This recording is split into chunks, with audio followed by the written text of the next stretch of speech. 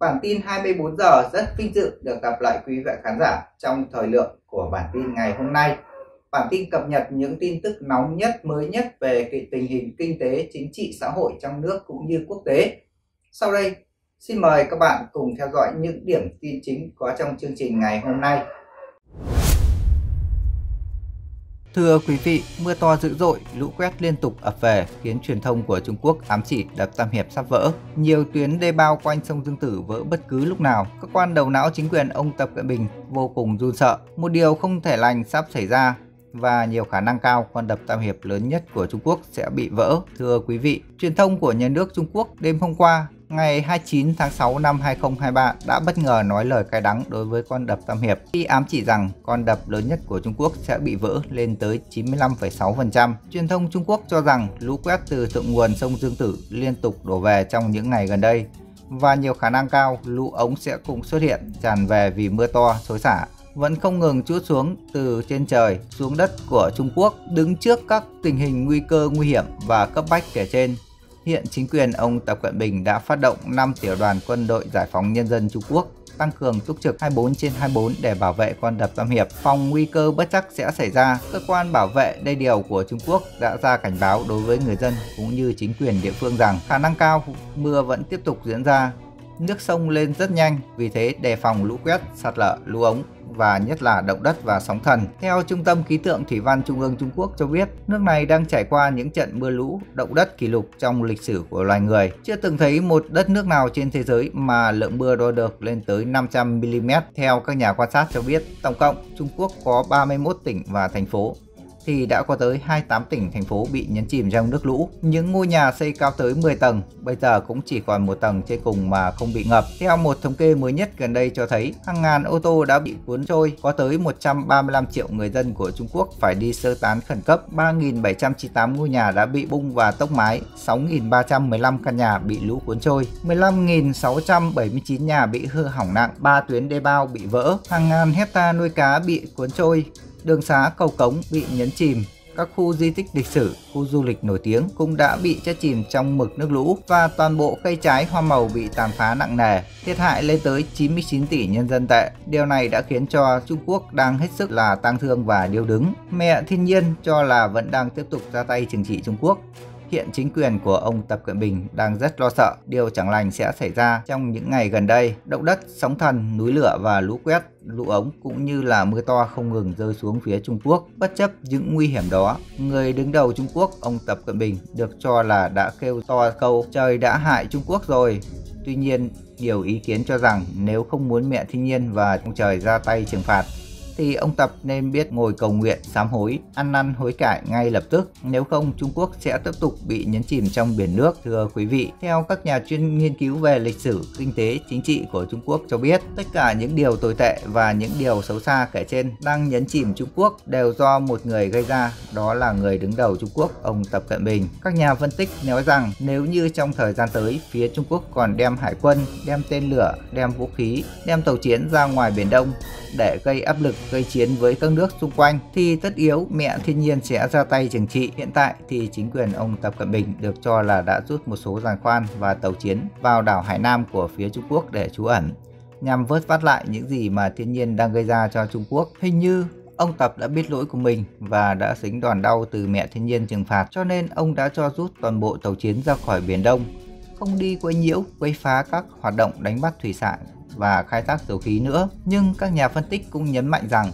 nếu như trong một vài tuần tới mà phía Trung Quốc vẫn tiếp tục đi xâm chiếm lãnh thổ lãnh hải, vùng đặc quyền kinh tế của các nước trong khu vực, thì Bắc Kinh sẽ còn nhận rất nhiều điều tồi tệ khác sẽ xảy ra. Thưa quý vị, có một cái tin được cho là rất xấu. Khi hôm qua 29 tháng 6 năm 2023, báo China Morning Post, một trong những tờ báo nổi tiếng của Trung Quốc, đã đưa ra cảnh báo đỏ, nói rằng hồ nước ngọt lớn nhất của Trung Quốc sắp bị tràn bờ. Tờ báo Trung Quốc cho biết nhà chức trách tỉnh Giang Tây, miền Nam của Trung Quốc đã nâng mức cảnh báo lũ lên cấp cao nhất và cảnh báo hồ nước ngọt lớn nhất của nước này cũng như là lớn nhất trên thế giới sắp tràn bờ. Và đây chính là một tín hiệu rất xấu cho chính quyền ông Tập Cận Bình.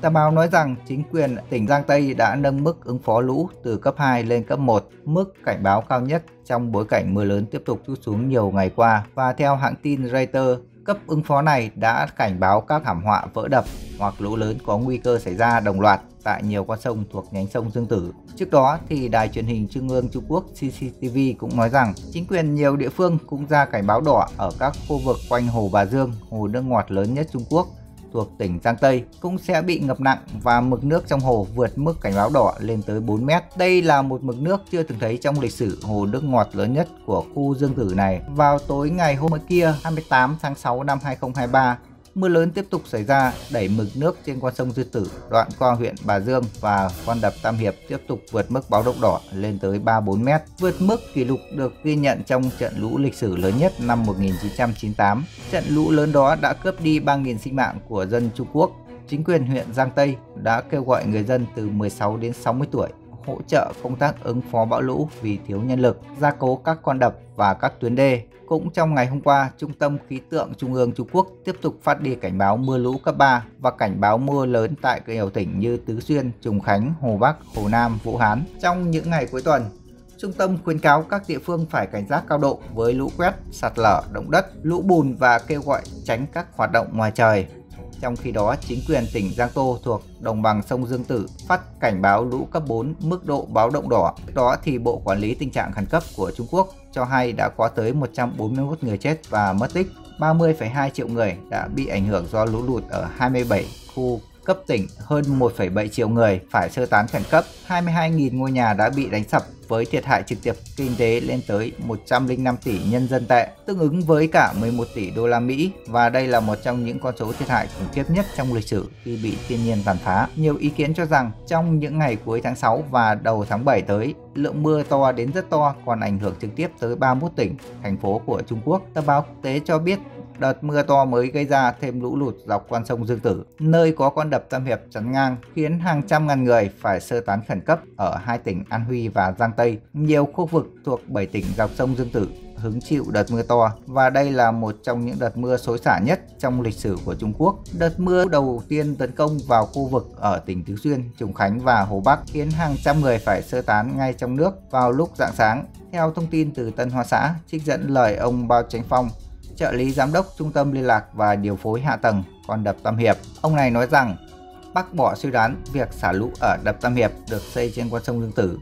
đoạn chảy qua thị trấn Tam Đậu Bình thuộc tỉnh Hồ Bắc, gây ra lũ lụt tại thành phố và nhiều khu vực lân cận. Ông Phong còn cho rằng một số thành phố bị ngập nặng sau khi các trận mưa to đánh bại hệ thống thoát nước ở những địa phương đó, chứ không phải là do lũ từ con sông Dương Tử hay việc xả lũ từ đập Tam Điệp. Theo Trung tâm Khí tượng Thủy văn Quốc gia cảnh báo,